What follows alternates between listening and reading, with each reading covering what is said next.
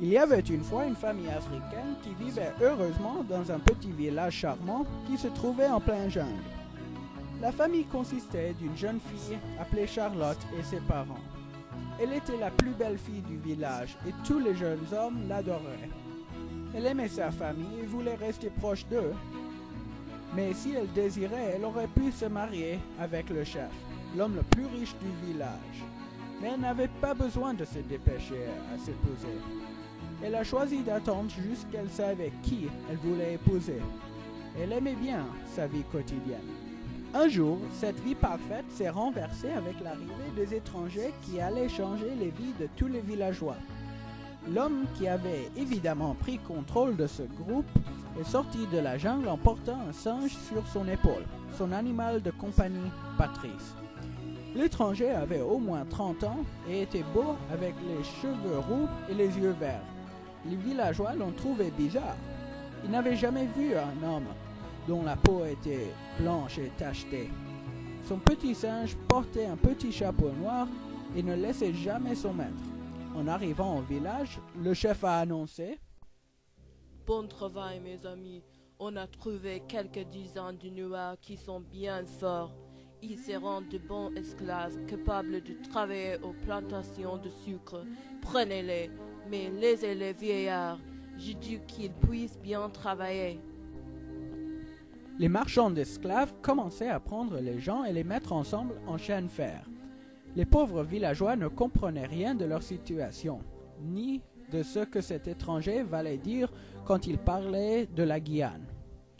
À la fin de la journée, il avait pris tous les jeunes et les forts en laissant les vieux. Ils ont pris Charlotte à cause de sa jeunesse, sa beauté et sa bonne santé. Séparée de ses parents, elle commença à pleurer et de demander pourquoi quelqu'un viendra pour changer sa vie. Ils ont commencé à traverser la jungle vers le bateau. Après deux heures de voyage, ils sont arrivés au bateau où Charlotte a vu une scène terrible. Le bateau était plein d'autres noirs qui venaient d'autres villages et elle ne les reconnaissait pas. Ils étaient maigres avec les dos couverts en blessures. L'homme aux cheveux roux a donné une commande à voix haute. Mettez-les dans le bateau. Nous sommes déjà en retard. Il faut que nous partions tu demandes. Puis il a emmené Charlotte et les autres nouveaux esclaves à une petite chambre dans le bateau où tous les esclaves étaient enchaînés. Cette chambre sentait de la mort.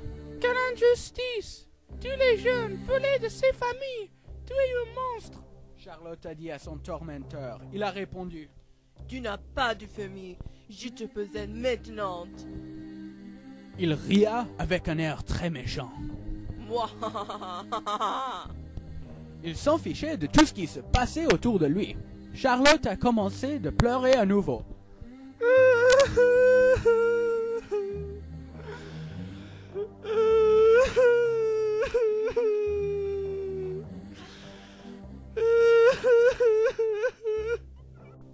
L'homme est parti de cette petite chambre quand tout d'un coup le singe assis sur son épaule a brillé et a commencé à parler.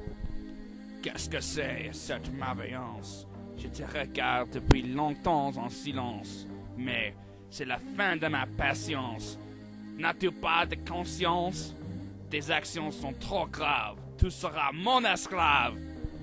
L'homme se sentait comme son âme était partie de son corps, et puis il se trouvait emprisonné dans le corps d'un singe.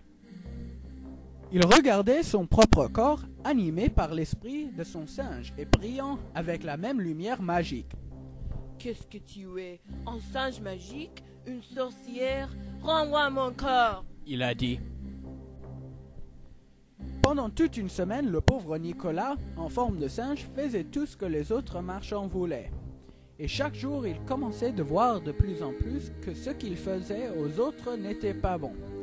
Une nuit, une tempête a commencé et le bateau risquait de couler.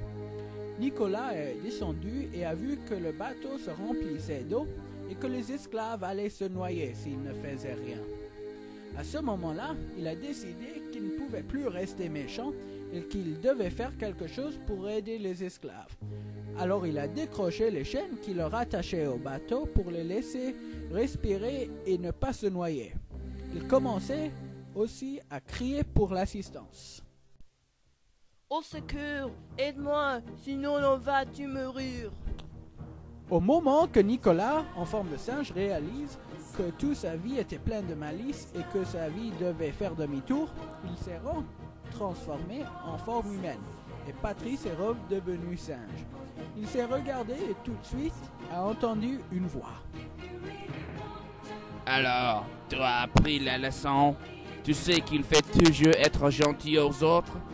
Si tu avais été gentil aux autres, on n'aura jamais dû avoir cette expérience. Oui, répond Nicolas.